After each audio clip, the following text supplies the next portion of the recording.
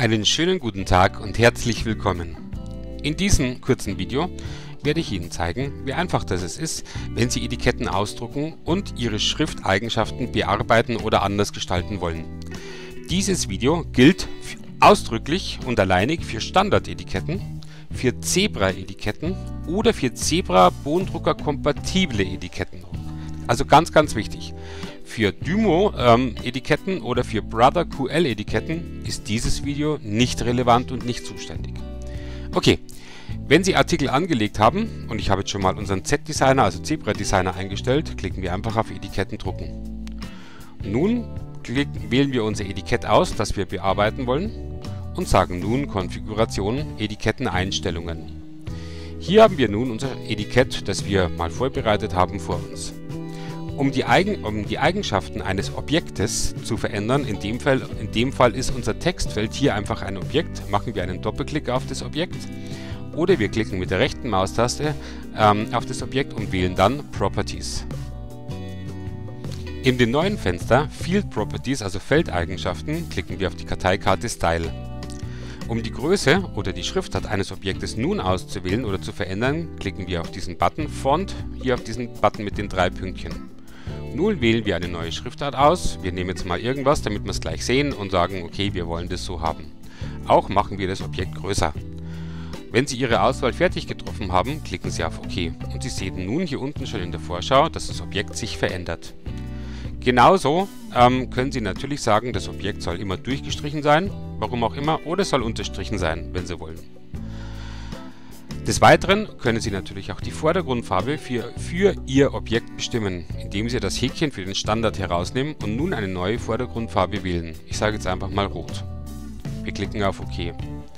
Auch können Sie, wenn Sie wollen, eine abweichende Hintergrundfarbe sagen. Okay, dass Sie sagen, ich will es jetzt nicht in weiß haben, hier die Hintergrundfarbe, sondern Sie wollen es zum Beispiel in gelb haben. Jetzt haben wir eine Situation, dass trotz Ihrer Auswahl der Hintergrund nicht gelb erscheint. Warum? Weil, ich, weil sie hier im Backstyle gesagt haben, der, der Hintergrund soll immer transparent sein, egal welche Farbe sie eingestellt haben. Das heißt, hätten sie auch hier schwarz eingestellt, wäre egal, schwarz wird ignoriert, also die Hintergrundfarbe wird immer ignoriert, es sei denn, sie würden opaque wählen. Das heißt, wenn sie nicht, wenn sie sagen, es soll nicht transparent sein, sondern also das heißt ähm, durchscheinend sein, dann haben sie auch genau den, den Effekt, den sie an dieser Stelle eingestellt haben. Wenn Sie mit Ihrer Auswahl zufrieden sind und wenn es wirklich so sein soll, wie Sie es oder wenn es so sein soll, wie Sie es gern hätten, dann klicken Sie einfach auf OK, um Ihre Änderungen nun im, nun im Etikett zu übernehmen. Wichtig an der Stelle ist, wenn ein Objekt eine Schriftgröße zum Beispiel von 10 hatte und Sie wählen nun eine größere Schriftart, das heißt 12, 16, 20, egal, 70, wie auch immer, dann ist, sieht es im ersten Moment so aus, als ob Ihr Objekt zu klein ist. Wenn das der Fall ist, das heißt die Höhe reicht nun nicht mehr aus. Wenn das der Fall ist, klicken Sie das Objekt an. Ups, nicht Doppelklick, einmal klicken. Sie klicken es an, drücken die Maustaste und verschieben es. Wavi Profi 3 ermittelt durch das Verschieben oder stellt fest, dass wir nun eine neue Mindesthöhe haben, die es braucht und setzt es automatisch. Wabi Profi 3 hat gesagt, hat nun die richtige Höhe übernommen und Sie können nun ähm, mit der Anpassung der Breite ähm, beginnen. Das heißt, indem Sie einfach, na, weg, indem Sie hier einfach das Objekt nehmen und an diesen Seitenrändern ziehen. Somit können Sie natürlich dann auch die Breite des Objekts gemäß Ihrer neuen Höhe anpassen, denn eine neue Schrifthöhe setzt fast meistens auch eine neue Schriftbreite oder eine Mindestbreite voraus, damit die Informationen des Objektes in diesem zur Verfügung gestellten Rechteck, sage ich jetzt mal, hier in unserem gelben Rechteck auch angezeigt werden können.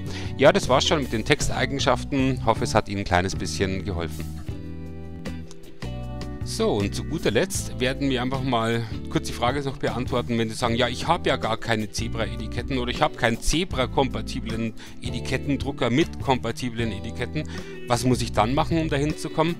Ganz einfach, wenn Sie Standardetiketten verwenden, haben Sie natürlich ein anderes Fensterchen vor sich, wenn Sie auf Etiketten drucken klicken, und zwar dieses. Dann haben Sie hier Ihre definierten Etiketten mit Ihren hinterlegten Etiketten, also hier Ihr Etikettenformat mit den hinterlegten Etiketten. Nun klicken Sie einfach, wenn Sie Ihre Auswahl hier getroffen haben, auf Details und Layout. Sie klicken dann Ihr gewünschtes Etikett an und klicken auf Bearbeiten. Nun sind wir genau da, wo wir vorher waren, nur sieht halt ein bisschen anders aus, weil wir hier einfach ein Hermer-Etikett jetzt mal da haben. Da können Sie auch einen Doppelklick oder einen Rechtsklick drauf machen und dann auf Style gehen und es genauso machen, wie wir es in den vorhergehenden ähm, Abschnitt gezeigt haben.